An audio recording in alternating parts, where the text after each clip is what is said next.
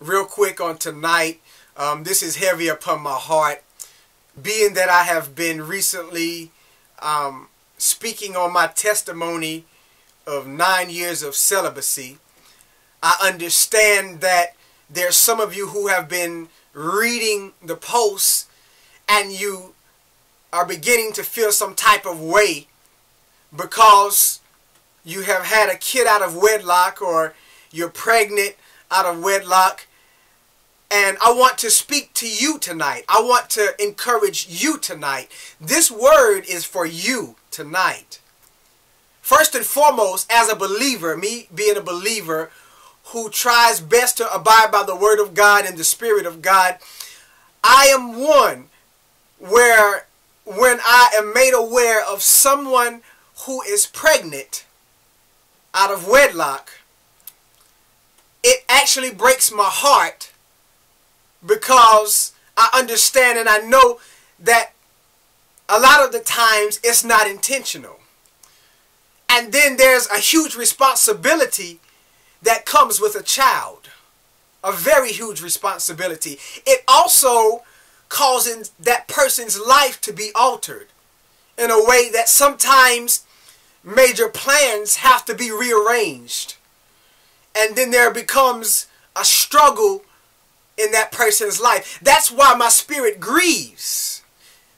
Um, but at the same time, I want to encourage you because even though you may be pregnant out of wedlock or you have had a child out of wedlock, if you are a born again believer and you have repented of that act, God has forgiven you.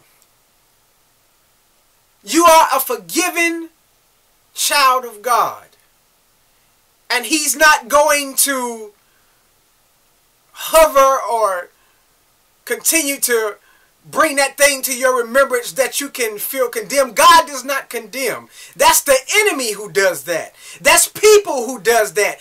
I nor anyone else have any right to have unforgiveness or hatred or to feel animosity against you because you had a child out of a wedlock. What's done is done. You know what I'm saying? What's done is done. There's no reason to continue to bash you for something that's already been done. And this is the thing.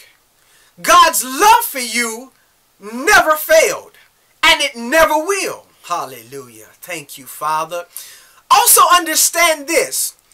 Though you may have had a child out of wedlock, God has purpose for that child.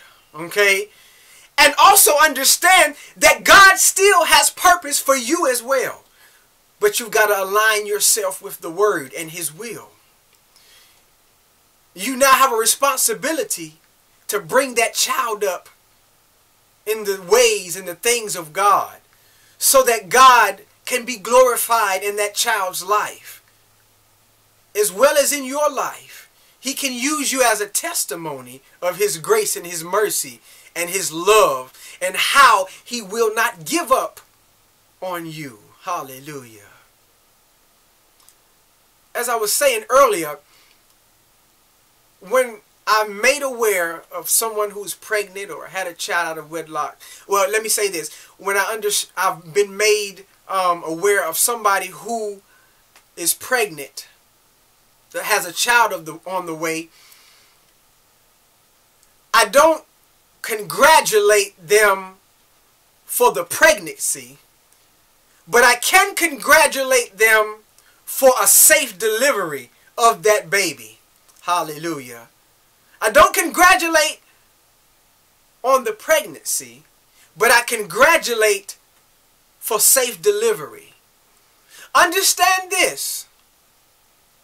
Hope is not lost for you if you have had a child out of wedlock or if you're pregnant. You just got to continue to trust God with your life and with the plans that he has for your life. Understand and know that his love for you will never fail. I want I want you to grab hold to that thing. God's love for you. Once you've repented And even if you haven't repented yet, his love does not fail for you. I want you to be encouraged and know that it's never too late to start over. Hallelujah. It's never too late to start over. What do I mean? It's never too late to start over. In other words, you messed up. The child is not a mistake. But you messed up. You fell short of the glory.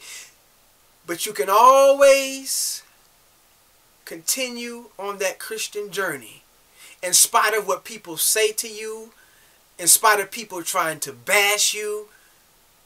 None of that matters. It's what God thinks about you that matters. Hallelujah. Another thing is you don't have to settle to be with that person that you're having a child with. That's another trick of the enemy. Um, God wants you to be happy. And he wants you to be in his will. So you don't need to feel as if, well, now I got to marry this person because I've had a child with them. Even though it is a good thing for the child, for their biological parents to both be in their life, but that may not be the case. That's why it's up to you to seek God's face for whom it is that he would have you to marry. And for those of you who have had a child and, and uh, the child is growing up, you know, is in uh, in years, up in years now, you know, God still has a plan for you as well as it pertains to whether or not you get married. See, God has people out there who are willing to uh, accept you for what has been done in the past. That's right. Hallelujah. Thank you, Jesus. There's somebody for you. So don't lose hope. Don't give up. Be encouraged. Hallelujah. And know that victory belongs to you. I love you in Jesus' name and I pray that you've been encouraged.